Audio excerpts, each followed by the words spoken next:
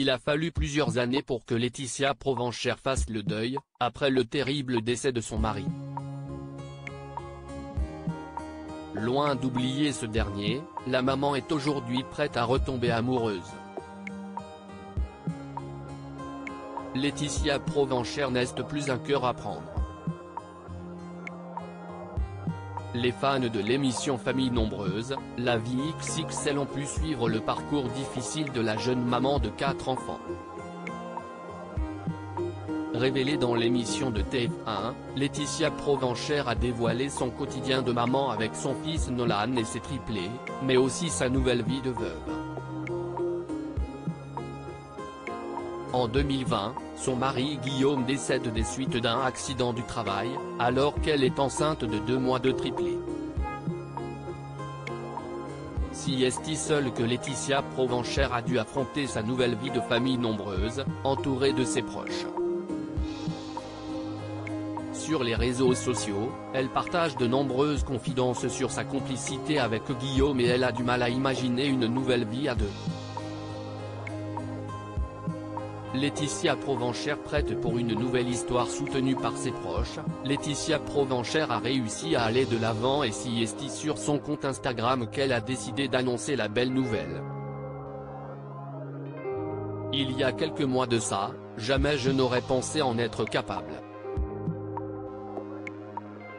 Je sais que vous vous posez beaucoup de questions, car ici je ne vous ai jamais parlé de l'existence de Tony, je vous explique maintenant, a annoncé la maman, présentant par la même occasion son nouveau chéri.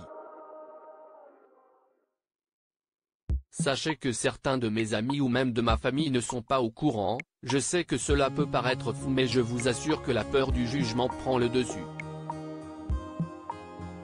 Je sais que pour la plupart, vous vous dites que j'ai le droit d'être heureuse, et en effet, c'est le cas. Mais c'est tellement difficile d'avancer dans la vie, d'arriver à accepter que j'ai le droit d'aimer de nouveau, a expliqué Laetitia Provencher. J'accepte l'idée d'aimer le cœur d'une maman ne se divise pas, il se multiplie, et bien là c'est pareil, mon amour pour Guillaume ne change pas et ne changera jamais, j'ai juste fait une place en plus pour un homme qui accepte chaque jour de m'aimer.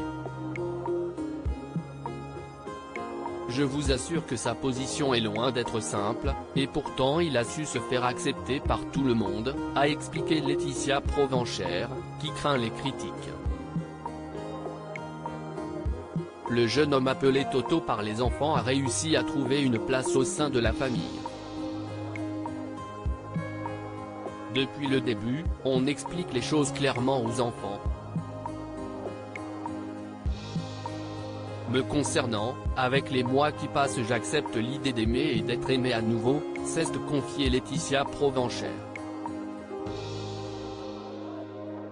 Une belle nouvelle qui affole la toile et la jeune maman peut compter sur le soutien de sa communauté et des autres mamans du programme qui sont allées de leurs petits commentaires, sois heureuse. Vusis post ton Instagram à post shared by famille Provencher, bag, avoir la tête qui tourne, arrobase même-bas en triplette.